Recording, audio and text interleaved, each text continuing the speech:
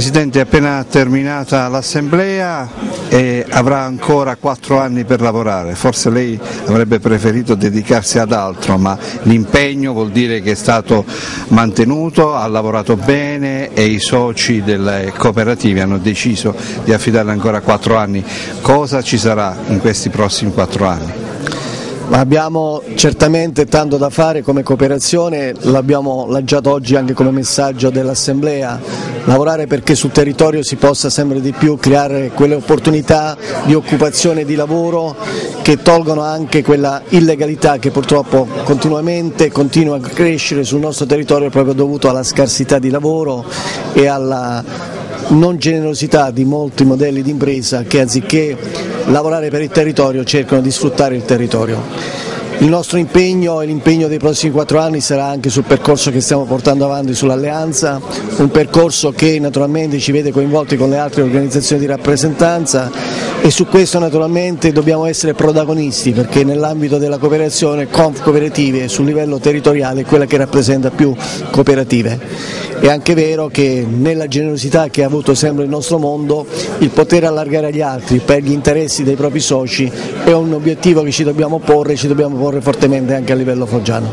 Ecco, in questo momento di particolare crisi l'agricoltura è importante ma anche tutti gli altri settori come vi state attrezzando appunto per affrontare questo momento particolare in questi giorni?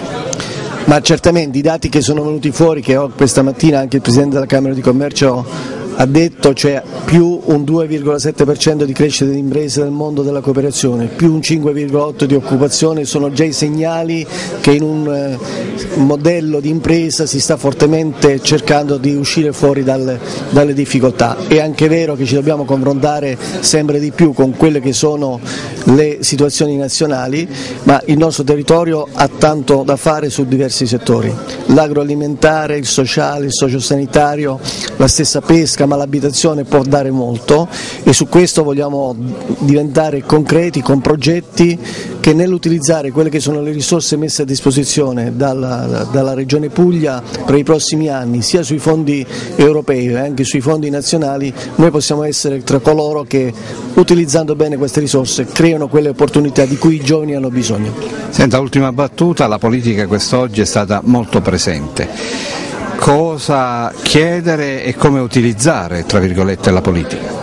Ma noi alla politica chiediamo pochissimo, chiediamo di essere ascoltati, siamo convinti che possiamo aiutare loro a creare quegli obiettivi necessari per una crescita del territorio. Noi, ho detto questa mattina, non siamo quel mondo organizzativo o di rappresentanza che contesta, noi siamo quelli che portiamo proposte e a queste proposte vogliamo almeno avere delle